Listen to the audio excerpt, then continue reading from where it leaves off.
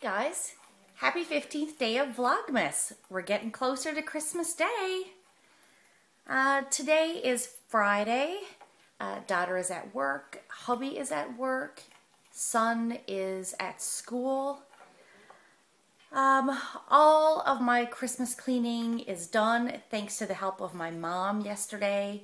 Um, she came in, we spent the entire day gutting the house, scrubbing floors, doing it all and we even managed to get the Christmas tree up. So very pleased about that. I'm pretty much ready now for Christmas. I just need to finish my shopping and then do some wrapping. So um, this afternoon I'm going to relax and um, stitch and that's about it really. So yeah, I am going to watch a little bit of McKenna. She is currently, um, I think, doing a live feed from Stitcher's Paradise. So I'm going to go have a look at that and uh, try and get some stitching done. Hi guys, so it's a couple hours later.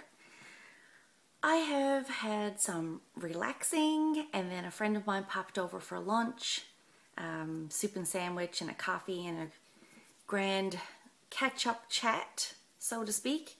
Um, so we hung out for a couple of hours and she's gone home and I'm now home alone again. this is really hard to get used to having my kids um, grown up enough that they're not around much anymore. Like they still live here. I mean, my son's 16 and my daughter's 19, but they're just very independent uh, kids. Like they're much more independent than they have been in previous years. So my son's developed this whole new social life and, um, you know, he's got a girlfriend now. So they're out hanging out and, you know, there's a whole group of them um, that get together and hang out and it's a Friday night. So why is he going to be home kind of thing when he can go out with his friends? And my daughter's working and um, she's really, really become very independent over this last year. So yeah, it's just odd. It's I'm not used to it yet. Like I'm not used to them just coming and going and I mean not coming and going. Like they still have, you know, my son still has a curfew and all that kind of stuff, but yeah, they're just not I guess tied to the house as much as they have been in previous years. So it takes a little bit of getting used to. Like last Sunday, or maybe it was the Sunday before, it's traditional that like every Sunday you cook this big, huge home cooked meal. Um, you know, you either do uh, roast chicken with, you know, all your veg and uh, pastry and gravy and all that stuff, or you do a roast with the same sorts of, you know, stuff. So I cooked this big, huge roast last Sunday for dinner, and or maybe it was the Sunday before and six o'clock in the evening came, and my daughter had decided that she was going over to her boyfriend's after work because they were going to his uncle's for dinner. And my son had gone to the movies with his friends, and my husband was at work trying to fit in a couple last minute jobs. So I was home with this entire roast dinner by myself. So I'm still getting used to this stuff. It's funny. I just think it's funny. I'm going to turn the camera around so you can see where I've gotten to in the last hour or so that I've been stitching. I have pretty much finished this entire section here. I've filled in all of the colored parts. I've finished the gold uh, metallic thread into here and some of the dark brown metallic that goes up through here. I've finished the rest of the gold metallic coming down here. And now I'm starting this gray color. That's going to fill in this section here.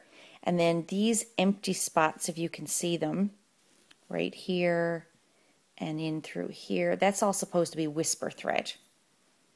These empty spots are for beads.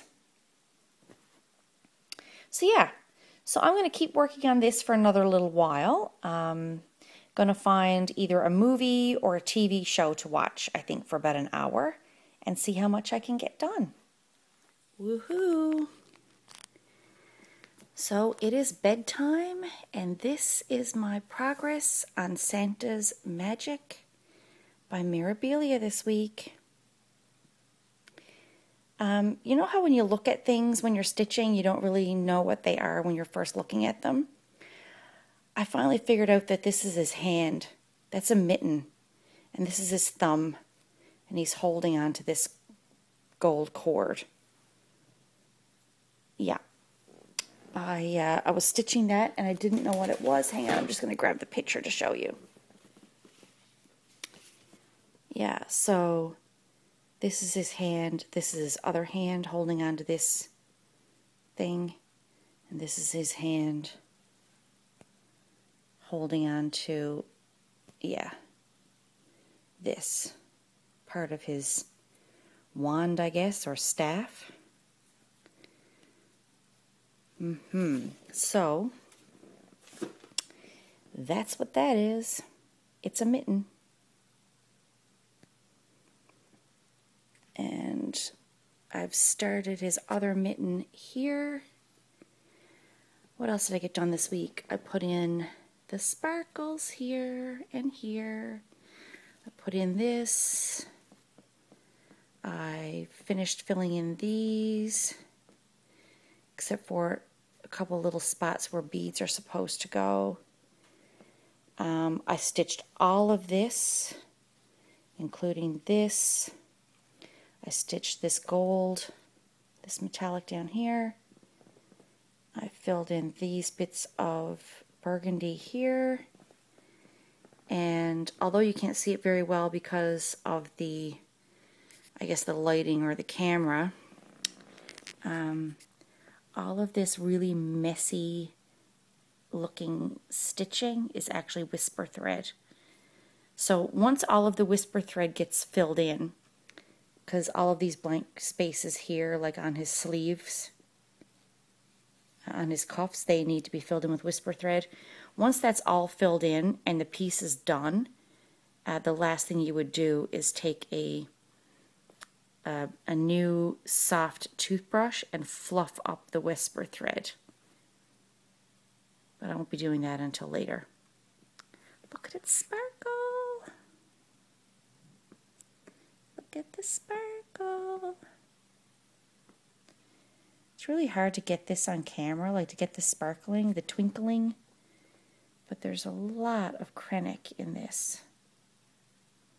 Anyway, that's it, and that's where I'm going to leave it. It's now going to bed. And guess what's coming out tomorrow? It's going to be A Christmas Carol by Heaven and Earth Designs. That's coming out in the morning. See you soon. Bye.